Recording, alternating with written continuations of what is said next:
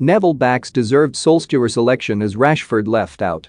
Gary Neville has backed Ole Gunnar Solskjaer's decision to leave Marcus Rashford on the bench for Saturday's derby clash with Manchester City. The Manchester United manager selected Mason Greenwood ahead of his England teammate to face Pep Guardiola's Premier League champions. Rashford was on the bench due to the player feeling unwell in recent days, but Neville tweeted, Greenwood deserves to play in front of him. That should be noted. Rashford, who turned 24 on Halloween, has scored twice in his three Premier League appearances this term, while Greenwood's record is 4 and 9. Solskjaer opted to deploy a 3-5-2 formation again after United's comfortable 3-0 victory against Tottenham in London last Saturday.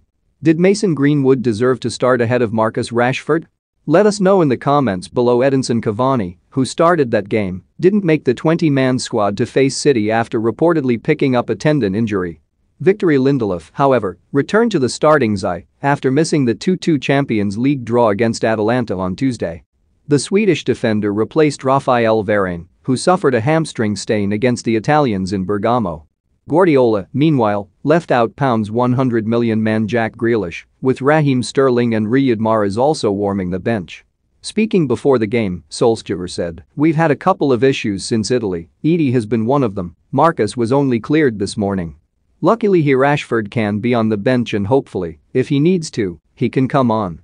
Solskjaer also left Jadon Sancho on the bench for the third Premier League running, but recently said the £73 million player remains part of his plans. The United manager insisted, Jadon is going to play a lot of games, he's going to get better and better, of course. Who will win the Manchester derby? Have your say.